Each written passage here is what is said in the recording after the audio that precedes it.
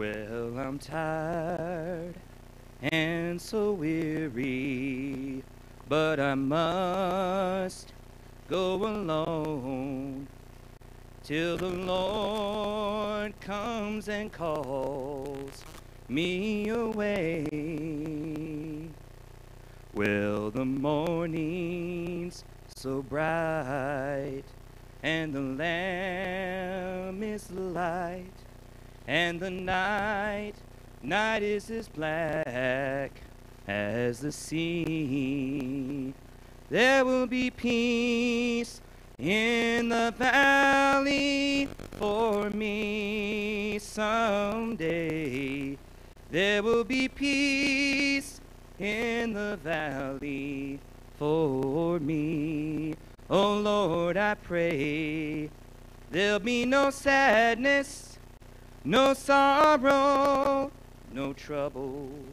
I see there will be peace, peace in the valley for me.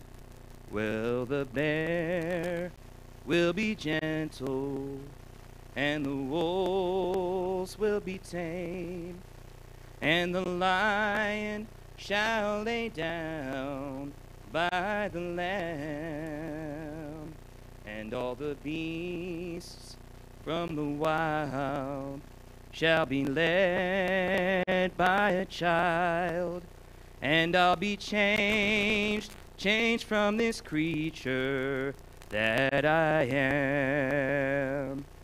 There will be peace in the valley for me someday. There will be peace in the valley for me. Oh Lord, I pray there'll be no sadness, no sorrow, no trouble. Trouble I see, there will be peace, peace in the valley for me. There'll be no sadness, no sorrow, no trouble. I see there will be peace, peace in the valley for me.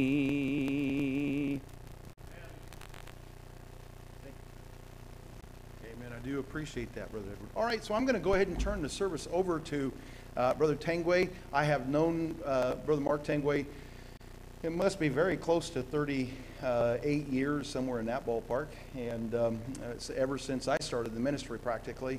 And Brother Tanguay was a member of our church. Um, God uh, didn't call him into the full time ministry, it's nothing like that, but God did give him a burden to study the subject of creation science. Um, and uh, I like the idea of a, a, a regular person who has enough passion about something spiritual to study it out and to consider. Now, he did say, you know, that um, my having him come every year, he's told us tonight, he, you know, it makes him study a little bit more, but I don't mind being a kind of a prod for that too. So, but I do appreciate Brother Tanguay, and, and, and I do, I, I very much like the idea of a Christian, any Christian, you're a Christian, becoming so interested in a subject that you begin to dig into it and you become, um, uh, you may not care for the word, an expert in that subject. It becomes a passion to you. I appreciate that very much. Brother Tanguay, I'm going to let you go ahead and turn the service. I know he's going to kind of, you want some, you want to come up here and start, or you want me to help you? You're going to sit up there? All right. You might need to turn on that microphone. Uh, he said he could do it. Oh, he did it. How's that? Hands free. No.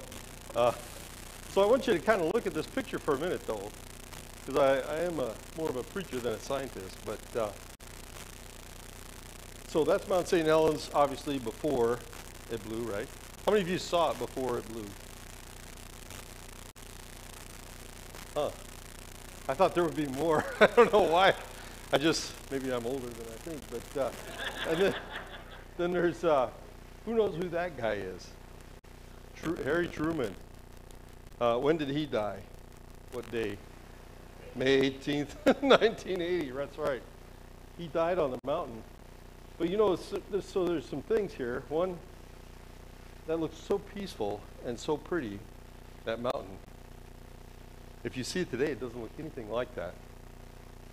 You know, and, and when I think about Noah and the flood and stuff, they were kind of like that. I mean, they're in this beautiful, beautiful earth. I mean, the earth before the flood, it had the water vapor barrier, it was tropical, North Pole, South Pole, everything. So many plants, you didn't have to work. You just kind of go out and grab something to eat, and it'd be super uh, healthy. And I mean, stuff everywhere. The temperature is. I remember I lived in the Marshall Islands for a little while. If you got tired and you weren't home, you could just lay down and go to sleep. I mean, you know, and it wasn't a big deal because it's so warm you don't need blankets or nothing. It's just it gets to 80 in the day and 75 at night, and it's just, you know, nice. And um, so anyway, they. Uh, oh, I guess I can't turn that way. But anyway, um, and then you think about, uh, you know, they had no idea when Noah was going to said it's going to rain. Had it ever rained before? No. The Bible says a mist came up from the ground and watered the earth. It was so different. And uh, but Harry Truman, he wouldn't leave the mountain. I forgot how old he was. I think he's like 80 or 90 or something like that. And uh, um, he wouldn't leave the mountain. Why wouldn't he leave the mountain? That was everything he had. He, I don't think he could, he, I don't think he knew what to do if he left. What a sad place to be in. We, I mean, especially if you're hanging on to stuff of this world, to hang on to it so tight, you don't know what to do. But I can also look at it another way, too, because if we hang on to the Lord so tight, then nothing else matters. Amen. So there's all kinds of stuff we can learn here. But uh, um, so I wanted to start here by uh, what happened on May 18th, because one of the things that they thought, they thought the volcanic, the Mount St. Helens would erupt like every other volcano, just go straight up in the air. That's why so many people died. There's a bunch of news guys die. If you ever watch some of this stuff, like the ridge, I was at Johnston Ridge. There was a guy standing there, thought he was totally safe. That's one of the reasons I wanted to go there. He's a long ways from the mountain. And it blew, and he only had a few seconds, and he was dead. And, uh, and one of the reasons is, instead of the mountain blowing straight up, you see the top picture there? And see the red dotted line? So there's a, as the mountain, it started swelling, and that's how they knew it was going to blow. It swelled like 500 feet, and it started swelling more and more. And they, and even Harry Truman, they got a video of him. They flew a helicopter down and said, "You got to get on the, it's going to blow. I mean, this is imminent now." And he's like, just waving him off, not going. And uh, anyway, what happened is it slid a little bit in the second frame there, and the third one you can see how it blew out the side and then later it did blow straight up. But you see how much material is gone? I mean, that's huge. And if you go up there, you know, I was going to take a picture, but I looked at my camera and it's just, you look and then it's like, because you're looking and the thing is big and you look in the camera and it's a little. I don't, I don't know why it does that. But even all the pictures and stuff, they don't do it justice at all. I mean, that ridge is so far away from that mountain, it is so huge.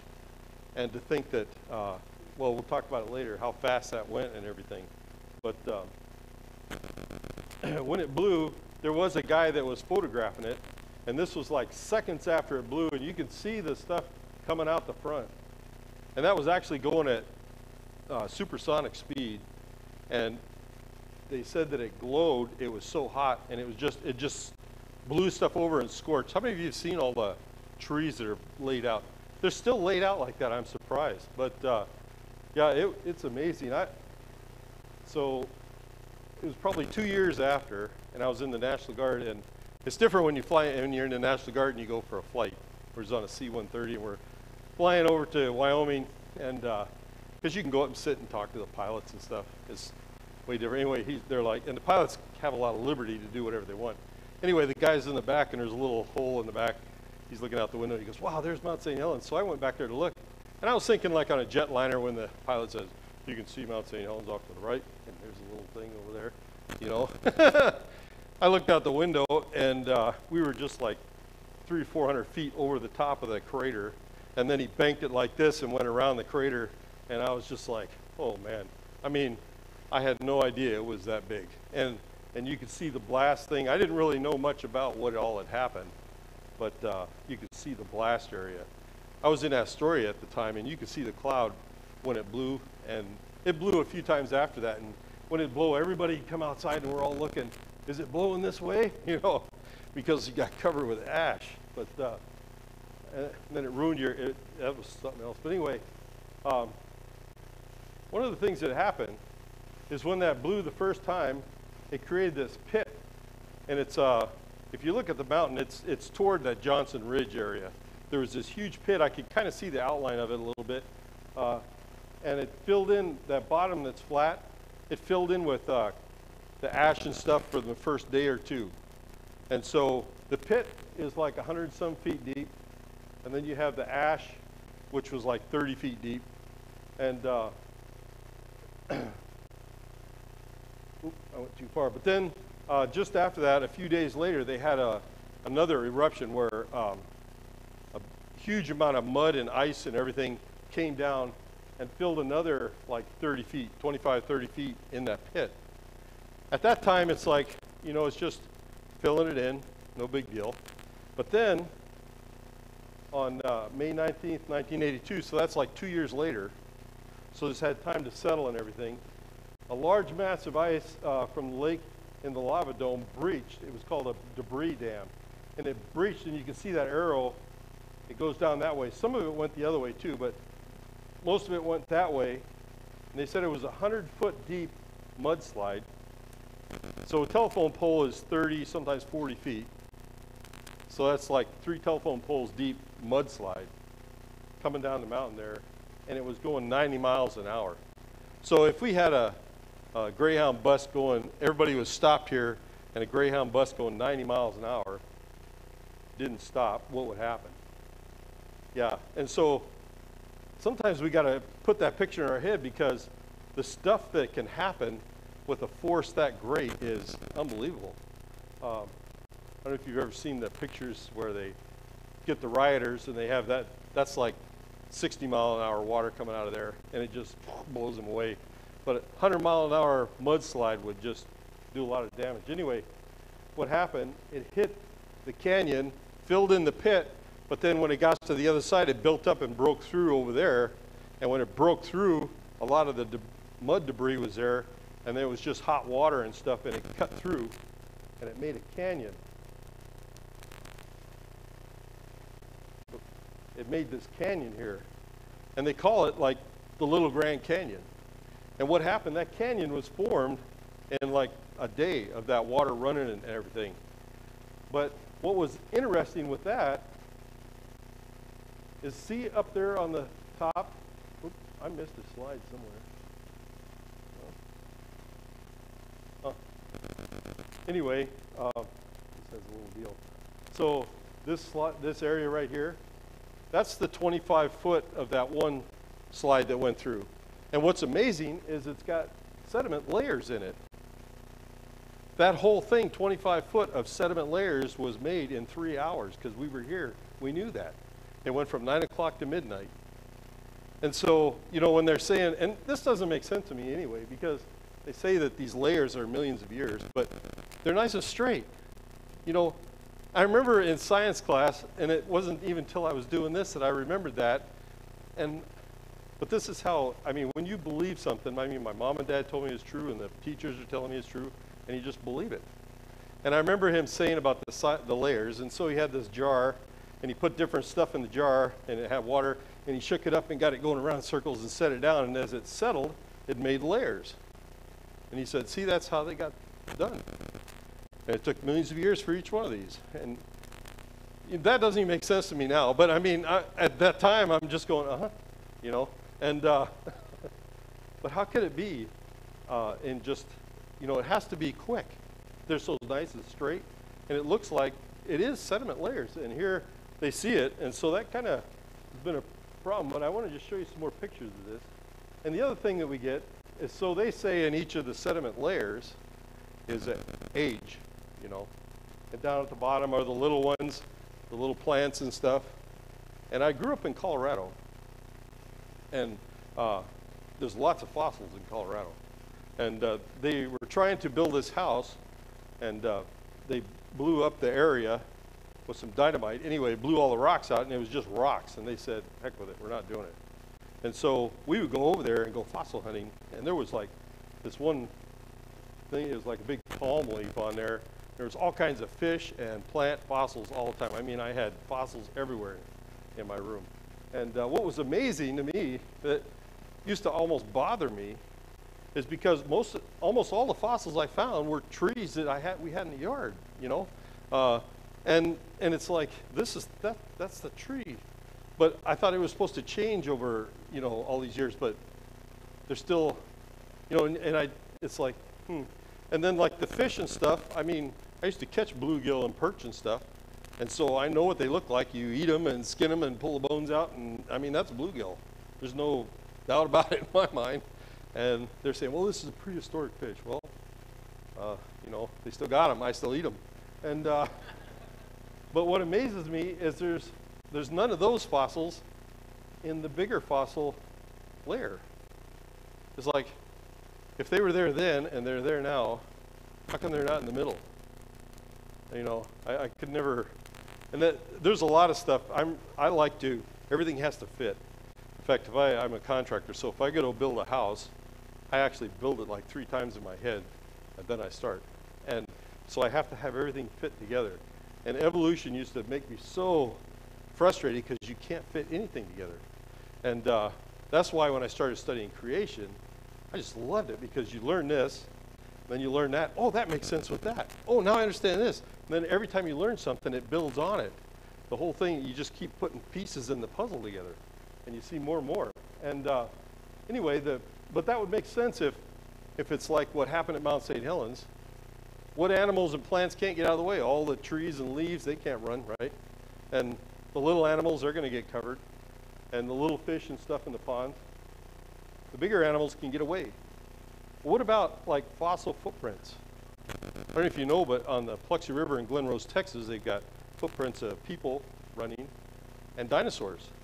That's something else that used to that got me.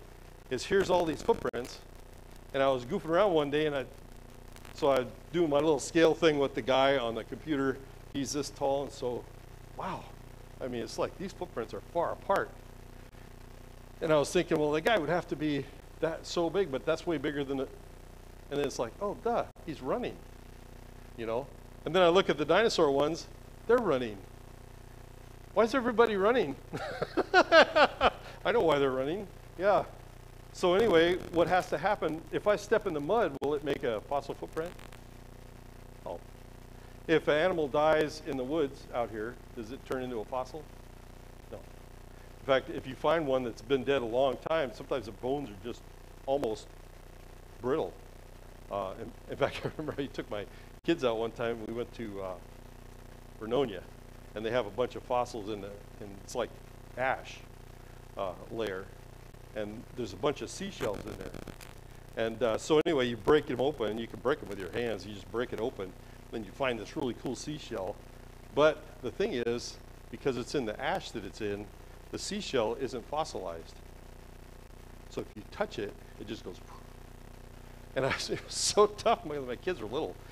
Oh, look at this one. Oh, cool. Nah. You know, just a minute, let me find another one. and so I'm trying to show them like this, you know. But that's because when it gets old like that, it just turns to nothing.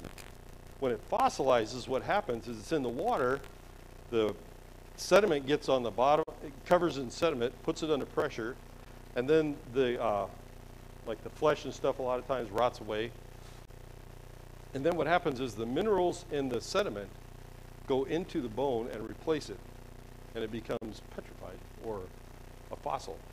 Fossils, most fossils are bones, and so uh, I mean, we're bones, but are rock now. And so, anyway, uh, it used to always bug me about that layer thing, and it doesn't even make sense, really, uh, that it could be millions of years. Also, when that, that slide came, it went down another side too, and it went through this one canyon. It isn't too big. Uh, it's called Loowit Canyon. But it went through an area of, of a lava flow that was 500 years old. and it just cut the rock. And I've heard people say, well, it can't just cut rock. Well, it did cut rock. I mean, and you know, it just did it really, really quick. Um, and it makes sense to me now that I'm thinking about, you know, a 100 foot deep mudslide. Uh, when it goes through, there's going to be nothing left. Like when it went through, I just went on my way up there. I don't know if you've ever seen that A-frame that's buried, the A-frame house. It's about, it's by the Bigfoot place or something. Anyway, uh, it's up there. I remember seeing it because we went up there right after it happened, and I remember seeing that there. There was like all sediment, the the ash, and that little peak of a house sticking out. But when it was going through there, it was going fairly slow, like maybe 20, 15, 20 miles an hour, and it was kind of eddying up and stuff. If it was going 90 miles an hour, th- that house wouldn't have been there. I mean, it, there's a huge amount of force. Anyway, here's that canyon again, just to kind of give you a different look at it. Uh, that was made in a day. So it was all flat across that. And that's kind of what it looks like today. And I could understand how they think that that little stream might have caused that, eroded it. Uh, but since we were here, we know that that happened in less than a day. It was flat across there, and then that happened. You know, you look at the Grand Canyon, it looks almost identical. And one of the things with the Grand Canyon, uh, if you've ever been around there, it's flat all on the top. It's not, there's no erosion that happens. It's flat. In fact, because I know about creation now, when I drive through that area, you look and you can see, it looks just like, you know, sometimes you go to the beach and there's a rock or something sticking up and how the sand is flat around it. Well, there's little mountain peaks poking up and it's all flat around it. It looks just like that. And then there's this canyon. And so it's, there's no way, in fact, I don't think the evolutionists even believe that it happened over millions of years now. They believe that it happened quickly. The other problem with it happening over a long, that I believe it happened quickly, is where the headwaters of the Colorado River are. There's a mountain range, and it goes through the mountain range. If it would have taken a long time, it would have had to go uphill, over the top of the mountain, and down. Well, water doesn't do that. But what if, and we do know that at one time there was like a huge, I believe it was, so when the um, flood happened, how long did the flood last? About a year, yeah. And the Bible says that the waters kept coming up for five months. And, uh, and then they started receding. I believe it's because the plates hit. Anyway, we're gonna, I'm going to talk about the plates in a minute. But uh, when the waters were receding, this whole Salt Lake area, and if you look on a map, you can see the mountain range there. They believe that that was a huge inland sea. And in fact, when you look at, if you drive to Salt Lake, you can see the edge up there, I mean, it's just amazing. Anyway, uh, I believe that was all like an inland sea. Well, and it, it must have cracked right there where the Grand Canyon is, and then that whole sea just rushed out, and it would easily form something like that. And uh, especially if it's within a year. I mean, you know, this that happened at Mount St. Helens was two years later, and it cut through it like it was like it's butter. So um, Also in the Grand Canyon, we see faults like this, where layers are laid down and then they're twisted. What would have to happen to do that? Yeah, I mean, we're, we're talking earth movement, quakes of magnitudes we can't imagine to just twist a, uh, some sediment that just got there. I mean, that, that's huge. That's not something that's just going to just happen. And when it gets all dried and everything, it's going to, you would see it cracked and stuff. So that must have been during the time that the sediment was being laid down and everything. Uh, there was huge stuff going on. And this uh, sediment layer that's, that we're looking at, is, it says is 350 feet thick. Um, but geologists examined the canyon formed in 1982, uh, Lahar. That's what they call that mudslide. I don't usually you know, when they're talking about all their stuff, sometimes I have to get a dictionary out and look it all up. But anyway, we have to do that when I'm here. so it says uh, revealing layered deposits from 1980 and 82 eruptions. It's kind of a, they said it was a 140th scale, but I mean, it looks just like the Grand Canyon with that little crick in the bottom.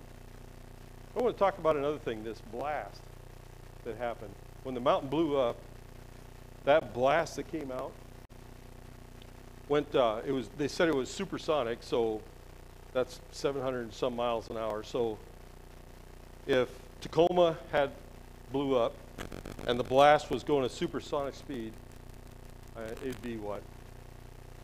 15 seconds to get here, maybe something like that from Tacoma. I mean, that's that's fast. In fact, I, you know, I remember looking because a lot of the planes, the jets and stuff, when they do the Fourth of July thing, and I was in the National Guard, we're trying to plan this thing, and so they said they sent us a schedule of their flyovers. It said like at uh, 9:58 we're going to fly over Salem. At uh, 10:03 we'll fly over Newport. I'm like, what? you know, and then we'll be there at 10:04, and I'm like, what? How do you do that? You know, and and I was talking, and he goes, I guess they go supersonic just a little bit and over, and I mean, when you go that fast, you know, 700, what is it, 750 or something miles an hour, it, it doesn't take long to get somewhere. So, that, anyway, um, that's why that guy, when I was standing there, he's at that mount. He saw the mountain blow, and he only had a few seconds. I think he he said, "Oh, was it something about uh, this is it or something?" I don't know. And then, and uh, there was another guy that was filming. He, I think he's the one that took that one shot of it first blowing up. He thought he was far away, and so the other thing I want you to know is this: it laid down trees flat for 19 miles. So what's that? I don't know. I think Olympia's a little farther than that, but straight. Anyway, I should have looked, but uh, it's about as far as Long Beach to Astoria. You know where Long Beach is. I don't know if that helps you at all, but anyway. So uh, there's just another picture of it, but it's amazing that it just laid these trees down like that. But, oh. But then the other thing is, um, in fact, I want to read that. I got a little part here.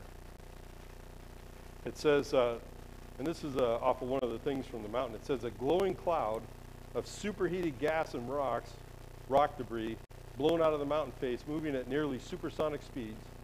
Everything within eight miles of the blast was wiped out almost instantly, according to the USGS. The shock wave rolled over the forest for another 19 miles, leveling century-old trees, all the trunks neatly aligned to the north. Beyond this tree-down zone, the forest remained standing but was seared lifeless.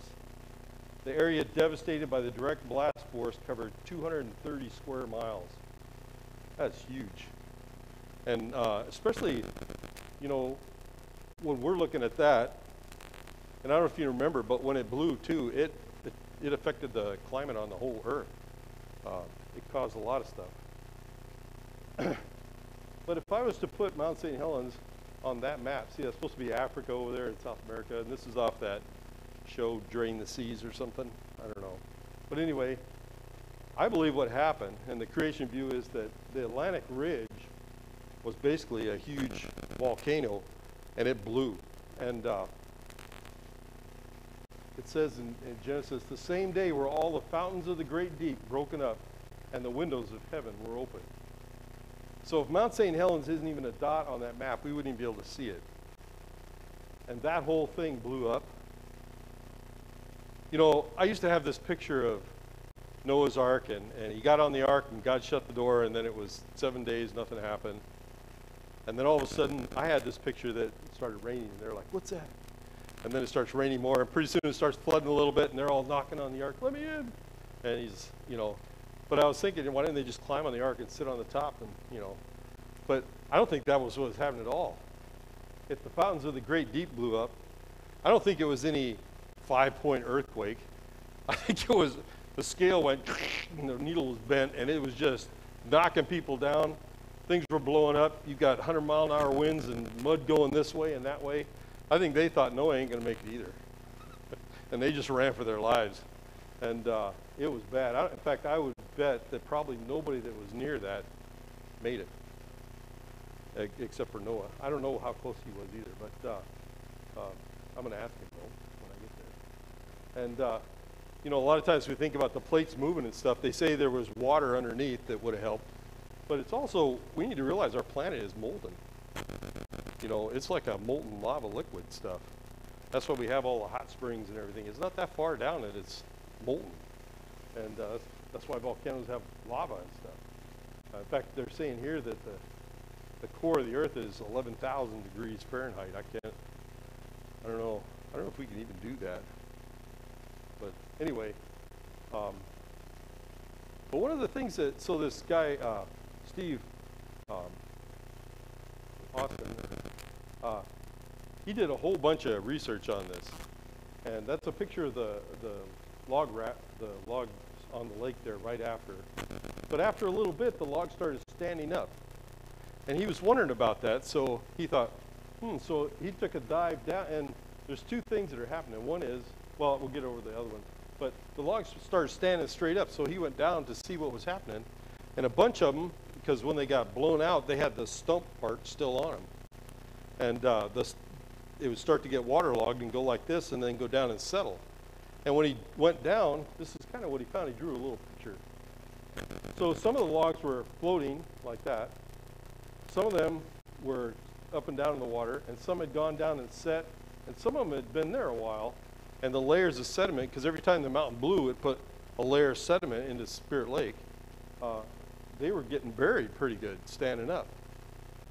I don't know if you've ever been to the uh, petrified forest in uh, Yellowstone, but it's really similar to that. And so that's a picture. I just got this off the Yellowstone stuff, but uh, I was wondering when I, I used to wonder because I've seen that, and it's just like trees.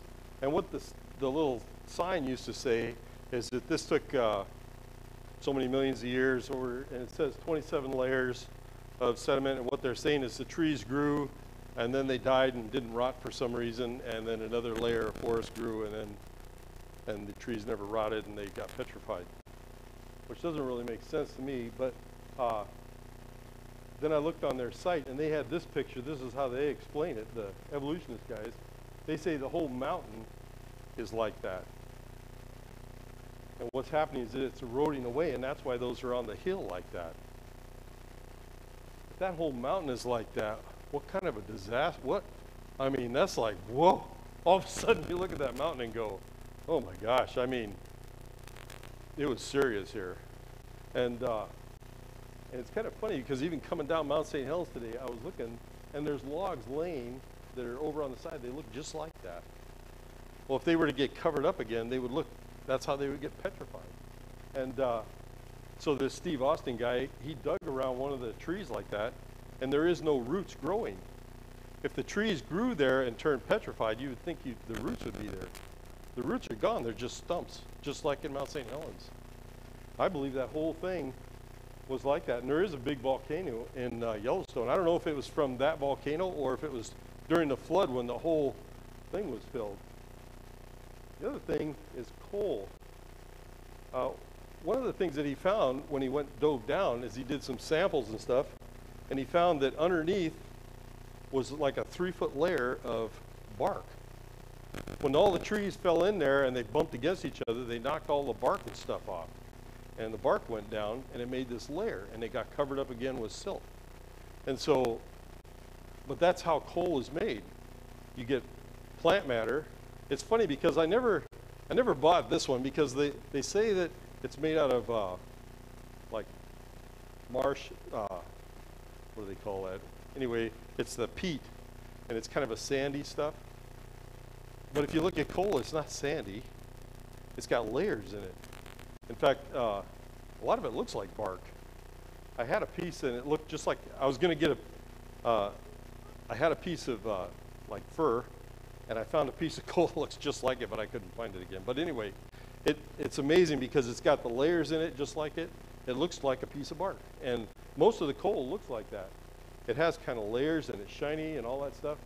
But uh, for all the coal, so coal, what it does is when it gets compacted like that, it, get, it gets hot, just like if you mow your lawn and you put a pile of grass, pretty soon you can see steam coming out of it, or if you go by some of the mills, the chip piles are all steaming in the winter. That's because they, they make heat. So if it's all buried and it's making all this heat and gas, what does the gas turn into? What do we call that? Natural gas. And the coal turns into coal or oil. So we have huge coal and oil deposits on this earth and natural gas everywhere. That tells me that at one time the earth was a lot different. It was really green. In fact, when we study Noah, we know that the earth was really green and that it had this water vapor barrier. In fact, it had a real high oxygen content. And I was while I was doing this thing, I was I was looking at I stumbled across an article about a girl that fell in a well in uh, Texas, and they couldn't get her out for a day or something. And they finally got her out, and she was all blue, and, all, and they thought she was going to die. No way she was going to make it. Her blood didn't have any oxygen. She was almost dead. And so, because she didn't have any oxygen, they put her in one of those uh, hyperbolic chambers or something. I think that's what it is. Anyway, and they, they put oxygen under pressure and put her in there. She healed up in a couple days, came right back. And uh, they found that uh, the oxygen like that can do a lot of stuff. And in fact, if you go, I grew up in Denver. We used to always laugh at the Californians that would come up because we, the coach would say, okay, we're going to run, the, you know, I want to see if somebody can beat this time. And they're always like, I can do that, you know. And they'd take off and we're all just running. They're going around and and then pretty soon they're just face planting the ground because they just can't do it. You can't get that much oxygen. You know, your body feels like it can do it, but it just can't do it. And uh, anyway, uh, back to the coal. So he found this piece of coal under, underneath the, uh, in the water, and he remembered a coal thing that he'd seen, so he went back and took, or he had a picture of it. And this is in a coal seam, a chunk that looks like a piece of bark in the coal seam. I, I really think that it is, and the stuff that I've heard that they've found in coal seams and stuff is more like, uh, I mean, I've heard all kinds of stuff. I don't know how much of it's true. I'm not really going to say anything. I try to just say the stuff I'm sure about, but uh, the thing I want to talk about too is, you know, the astronauts. Um, it was on another one that I was doing, but I was reading a lot about the astronauts, and they all say they. There's a few of them that have comments about looking at the Earth. I was I tried to get one, but they all get a little. They use not good words. So I'm going to paraphrase here, but uh, basically they look at the Earth like that, and they are just amazed. One, one they're amazed that there's this rock in space that's 400, minus 400 degrees out in space. And it's just flying around and it's beautiful. I mean, like, you know that the Caribbean there is just tropical and beautiful. There's snow-capped mountains. It's, it's a beautiful planet to be on. And they look at it and then they think about all the stuff that's going on. I mean, all the politics and all the junk and, you know, Kim Jong Un terrorizing his people and I mean, just all that stuff. And and they say what they want to do is come down and grab some of these guys or the politicians, drag them up to the moon and say, "Look at that! What are you doing?" you know. And if we would just get along, what could you imagine if everybody did what the Bible said and just put the other person first? This would be, this place would be awesome. In fact, uh, I want to turn to one verse. If you'll uh, look in your Bibles there, it's Genesis uh, 6. and it's 5 and 6. Because I used to, this is a verse that's kind of always bothered me a little bit. It's one where God gets mad, spanks everybody.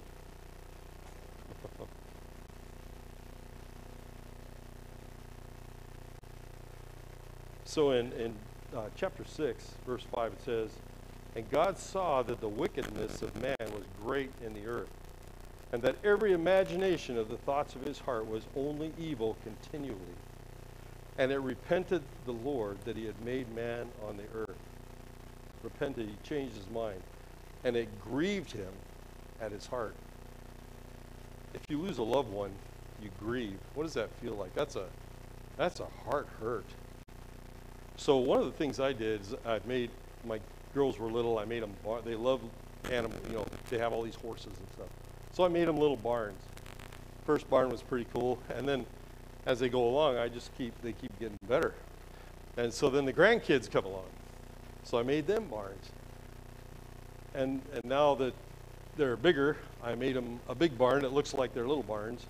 And, but let's say let's say that when I made my granddaughters their barns, I'm all excited. You know, I mean, my daughters love the barns. They keep them as keepsakes and everything. And and uh, so, but now the two granddaughters are there. They're playing, and the one looks over and sees that this one has more horses. So she goes over and smashes one of the horses and throws it down. Goes back, and this one comes over and kicks in the stalls. And so this one goes over and smashes in some of the door, and they just start smashing in the barns, and then they start fighting. How would I feel? My heart would be broke. One of the problems, and so God's looking at this beautiful world that He made. And here's everybody in the world, and all they're doing is fighting and hurting one another. And it says it grieved him at his heart. It just broke his heart. The other thing is, we need to understand is when it says every, uh, it's talking about they'd fallen so deep in sin that I believe they, he didn't think they were coming back. I, so I, I preach a lot in the jail and the uh, missions and stuff. And there's one gal there, and she had some stuff happen and uh, ended up in jail over some meth and stuff. And now she got out, and they took her kids away, and she's just angry. She cannot forgive. Unforgiveness is a sin. All sin hurts us, hurts other people. And uh, there's that, I heard it somewhere, some pastor said one time, it always uh, take you farther than you want to go, keep you longer than you want to stay, cost you more than you want to pay. All sin does that. And you can't, the other problem that I have, like with these guys in the jails and stuff, is they're always telling me, you need to make better choices. You need to realize when you're in sin, you can't make better choices. You have to get, you have to repent first. You know, the way to get out of sin is you hold one hand like this, slap the other one right there, fall on your knees and say, Lord, I'm an idiot. You know, I've messed up. and that's what fixes it. And uh, so, but if you try to fight through it like unforgiveness, um, unforgiveness is hard. in fact, to prove that sin controls you, some of you here have probably been that way where you've somebody's really wronged you and you're unforgiving, and then you finally come to a time where you forgave them. Uh, when I've done that, it felt like a weight went off my shoulders.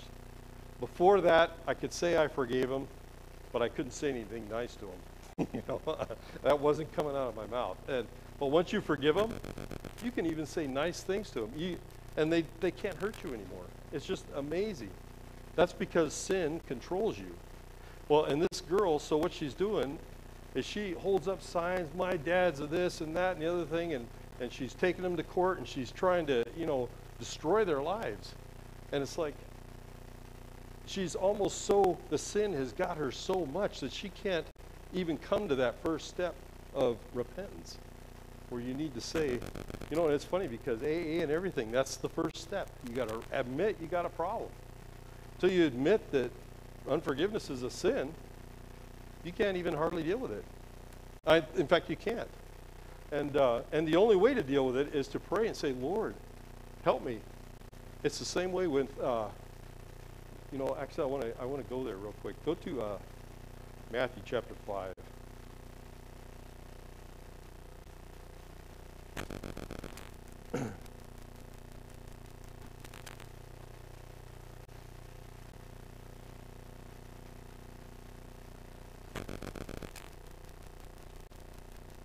Because one of the things that happens is a lot of times we read the Bible and we got to be careful because we read the Bible as a bunch of commandments, and a lot of times he's saying, This is what you'll do if you love. What are the two greatest commandments? Love God and love your neighbor. You think you can love uh, God without, it says you can't love God without loving your neighbor. You think you can love your neighbor without loving God? I don't really know, to tell you the truth. I, I do know that if people don't love God, what they do is if Mike does something to me, then what I'll do is I'll justify why I can say what I can say. And so, you know, they like to give all this money to, you know, charity cases and all this stuff, but I don't, they don't love God. And I believe you have to love God first. And the difference is, well, you'll know if, if that's true, is if somebody's being a jerk to you, and then you say, Lord, I know that you love that guy anyway. He's being a total jerk. But help me, Lord, to love him too, like you do. That's you're loving God and you're loving. But look here in verse uh, 44 of chapter 5. It says, But I say unto you, love your enemies, bless them that curse you, do good to them that hate you, and pray for them that despitefully use you and persecute you. To despitefully use, I mean, it'd be like uh, if my brother and sister, if, let's say my sister was uh, there and, and, I had to go somewhere, and uh, I'm going to move it around. She's the bad guy. So she's got to go somewhere. And she says, Mark, hey, will you do the dishes for me tonight? And I said, well, I don't want to do that. She goes, come on, please, you're my br- best brother and all that. Okay, okay. And I finally say, okay, I'll do the dishes. And then she takes hers, throws her stuff on the floor and say, clean that up. That'd be like, ugh. Well, when somebody despitefully uses you, that's what they're doing. They're just being jerks and mean to do that. But the example I just gave, what you would say is, Lord, that guy is a jerk. But help me, Lord, to love him like you do. But see, isn't that what it's saying here? It says, pray for them that despitefully use you and persecute you. It isn't a command, something that you're supposed to do. Basically, what he's saying is if you love other people, these are the things you will do. And so sometimes we get uh, the commands and stuff too. Um, I think a lot of this stuff is just stuff you'll do by nature. You understand? I don't know if you understand what I'm saying, but uh, um, that's what love is. In fact, we'll do the last verse here. Go to uh, 1 John.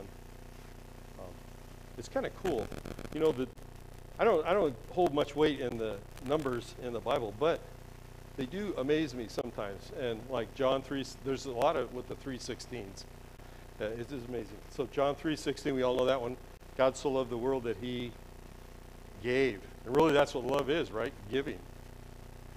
And then 1 John 3.16 says, Hereby perceive we the love of God. What's the word perceive mean? So if your mom says, if you did something wrong and you come in, you're like, and she says, I perceive what you did. Does that mean you're going to get away with it? nope. She knows exactly what happened. Perceive means to totally understand or know. Hereby perceive we the love of God because he laid down his life for us. Now, Jesus did die for us, but that's not what this verse says. It says that he laid down his life for us. Did Jesus ever do anything on this earth for himself? No. The only thing he kind of did was he prayed and said, Lord, uh, take this cup from me, right? But then he said, but not my will, but thine be done. So that's as close as I could get as something to him he did for himself. He took it, and so laying down your life for your brother is, I want to go do this, but uh, I'm going to go help him. If somebody call, and you know who they are because if you call up at 2 in the morning and it's raining and cold outside, you say, hey, I'm stuck up on this logging road. uh, I can't hear you. You know, or, but if they're a real friend, you don't even think about, it's like, okay, where are you exactly? You know, and uh, that's what that's what love is. You're putting down sleeping and rest and everything you're doing, and you're just going to go help somebody else. That's what love is. Giving of yourself all the time. Uh, laying down your own life. And it says, and we ought to lay down our lives for the brethren. So one of the things, you know, when I look at this uh, this whole thing, I know that the flood, I, th- I think it was a bigger disaster than we can even imagine. And when we look at stuff like uh, the Grand Canyon or something, we can't even really fathom what it took to make that or what was happening. And, but it did wipe everybody off the face of the earth, except eight people. I also know that when that stuff happens, God protects his own. Amen. I don't know if you remember the Shunammite woman. This will be the last, but the Shunammite woman. So Elijah, he used to walk by all the time, and the Shunammite woman said, Hey, come on in here. I'll give you something to eat. So she came in, something to eat. And then uh, she says, you know, I'm going to, he needs a place to stay. So she just made him a nice little, says he had a bed and a little uh, desk and stuff in there, and she made him dinner. You know, pull in here and, and, you know, rest for the night, and I'll fix you something to eat. He never asked her or anything. She just did it because he was the man of God. So then Elijah's like, oh, man, I wish I could do something for her. She's like, no, no, I'm good. I got everything I need. You know, God's taking care of me. And uh, then she heard that, uh, Elijah heard that she'd never had a kid. So he says, before next year, you'll have a kid. And she's like, well, don't tease me. You know, that's what I've always wanted, and, and, you know, but it ain't happening. I'm, I'm getting old and stuff. Well, then she had a little boy, and uh, it was the apple over her eye. I mean, you know, and but then when he was a teenager, he's out in the field with his dad. Bible says, and he started to get a headache, and he fell down, and they took him in, and he laid in his mom's lap and died. And you'd think a lot of people will turn, why did God do that to me? God, what are you doing? You know, She's, she put the boy on the bed and ran to find Elijah. That's who was the man of God. It's like running to God when stuff like that happens. Well, Elijah heard it and he came and he healed the boy. And you, sometimes we say, well, why did God do all that stuff? You know, we, we don't understand. And at that moment, I'm sure she didn't understand why her boy just died. That's the worst thing that could happen in the world. Well, then it's a few chapters later, so it's a little bit of time um, the servant from Elijah comes to the lady and says, You know, there's going to be a famine in the land. You need to just pack, just leave. She left her farm, left everything that she had, and she was obviously well to do. She just left it and went to Egypt. Then they had a famine in the land. Then she came back. But she couldn't get her land back. But that night, the king was talking to Elijah's servant. He says, You know, I can't sleep. Uh, tell me a story about Elijah.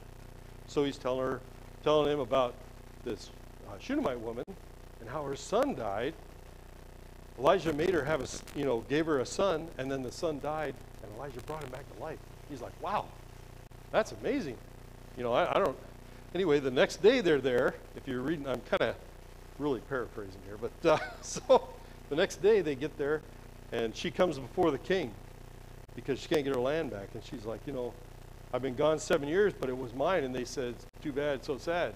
And, uh, and the, the servant says, you know, uh, that's a Shunammite woman, and that's her son that Elijah raised from the dead. And the king's like, really? Give her her land back. And, you know, all the money it made while she was gone, give her that too. And that's how God takes care of us. You know, a lot of times stuff happens in our life. We don't understand. He took care of Noah. We see Noah, that's happening. And even like right now, it seems like the world's just falling apart. You know, that song, uh, um, oh, where's the new, I, about holding the newborn baby, uh, because he lives. Yeah, that song, she wrote that song when the Depression was going. Everything's falling apart. World War II is just starting. She's like, going to have this baby. She's pregnant, and she's like, what am I bringing this baby into? And then she wrote that song. I mean, it's amazing. But uh, anyway, I just want to encourage you tonight when you look at some of this stuff in nature and, and look at the stuff that's happened, just know, I mean, we don't want to break God's heart. And we break God's heart when we have unforgiveness, when we don't love one another, you know, and all that stuff. I know I don't get here much, so one more one more quick thing. So uh, I use this one in the jail a lot. So if you were in a in a grocery store, I want to talk to you about how love changes people. But because uh, you know, like when you smile, it just makes other people smile. Love is kind of the same way. So if you're in a department store or a grocery store, and uh, you're in a checkout, and let's say you got plenty of money, and the gal in front of you, her card doesn't work. She's a single mom, a bunch of kids crying you'd probably say, probably everybody here would say, I'll, I'll pay for that. And then, you know, and you wouldn't even ask, if she said, how can I pay you back? You, don't worry about it.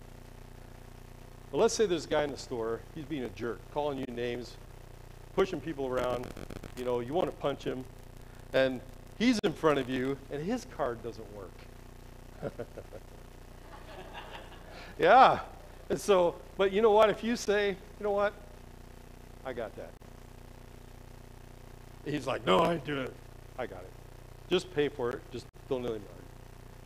That could change.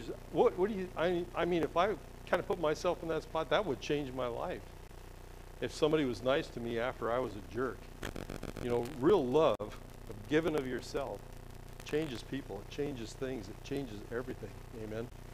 Amen. And we look at uh, my thing is, I just don't want to break God's heart. Like when he destroyed the earth, and when you look at it, I mean, if he gets mad, you don't want to be around, right? no, but uh, no, but I don't want to break his heart. And uh, one more, because when I was a kid, I always did what my dad said. He never punished me. He never had. Any, I didn't have hardly any rules or anything. And uh, I was the firstborn. I got away with everything. I mean, not really even got away with, but I just wouldn't do anything against my dad. And I went running around with these guys. They're in jail now, but uh, yeah, we did some really stupid things that night. And I was supposed to be home and have gas in the car and everything. And uh, really stupid things, and we stayed way too long. I was coming home, and we lived in Colorado Springs, and it's like half hour away. And we're almost home, and I, oh, I didn't get gas, and he has to take my mom to work in the morning at 5. He said, whatever you do, make sure there's gas in the car. Well, no, no stations are open. So they're like, no problem. So we went and stole, uh, we cut this hose, and I don't want to tell you all the story. It was crazy, but we siphoned some gas out of some wrecked cars. I thought that would be okay. And so, and then we're coming home and did a bunch of stuff and ran out, you know, just anyway, it was really stupid. And I remember I got home and I pulled in the driveway and I could see the lights were on already. And I pulled in the driveway and I got out and I went, and I was waiting by the door and I could hear him walk down the hall, down to my bedroom, under the covers, and I'm acting like I'm sleeping. And a little bit later, I hear this. He opens the door. He goes, Mark, huh? You know, he's holding the hose. And he just kind of looked broken, and he just shut the door and walked out. And man, I told those guys, you stay away from me. You know, I don't ever want to do that again. And you know, I, so what I'm saying is, you know, we easily break God's heart. But if we just tell him, I'm sorry, he's like, it's good. Amen. Amen. Let's pray. Lord, I just thank you so much for just loving us so much, Lord. Now, I'm going to just let Pastor McKenzie do the invitation. Your eyes closed. Genesis chapter 6 and verse 6. Why don't you all stand, heads bowed and eyes are closed? And it repented the Lord that he made man on the earth, and it grieved him at his heart.